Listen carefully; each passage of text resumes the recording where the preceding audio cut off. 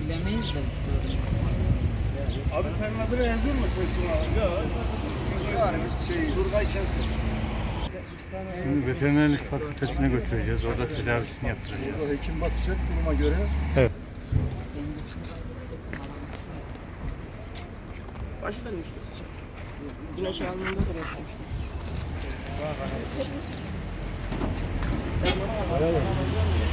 basmıştır.